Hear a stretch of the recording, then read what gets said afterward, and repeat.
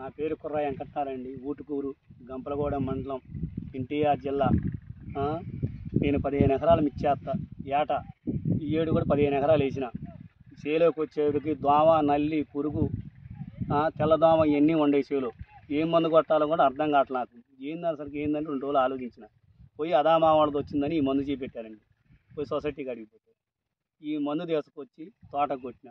కొట్టాక ఎనిమిదో రోజు వచ్చి చూస్తే అసలు క్వాలిటీకి ఎమ్మ క్వాలిటీ ఉంది తోట. ఇంకో సిట్టాక్ వేసుకొని ఈ క్వాలిటీకి ఉంది. ఈ మందు కొడితే ఈ క్వాలిటీ ఉంటుందని నేను ఇప్పుడు చూసిన. కానీ ఏ మందులు కొట్టినా ఇంత క్వాలిటీకి రాదు కానీ ఈ మందు కొట్టవచ్చు రైతు వారిగా నేను పదిహేను ఎకరాలు వేస్తున్నా. ఎందుకంటే నాకు నా అనుభవం ఏం చెబుతున్నా నేను దాదాపుగా ఇరవై ఐదు సంవత్సరాలు అయింది నేను మిర్చి చేయబట్టి పదిహేను ఎకరాలు వేసిన ఇరవై ఎకరాలు వేసిన. కానీ ఇలాంటి మందు ఇలాంటి క్వాలిటీకి రావటం నేను మొదటిసారి చూడటం ఇదే. ఈ మందు కొట్టవచ్చు ఈ సిట్టాకైతే మనకి దిగుబడులు కూడా చాలా దిగుబడులు వస్తాయి.